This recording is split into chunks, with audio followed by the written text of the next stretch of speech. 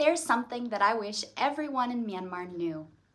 I'm a CV writer, and when I receive student CVs in the business English class, I often see something like this. Name, colon, and then the student's name. Guys, there is never a space before the colon. This is never correct, and yet I see it so many times on so many documents. The colon cannot stand alone. It must be attached to the word that comes before it. It should be name, colon, space, then your name. That's my writing tip for today. See you in the next video.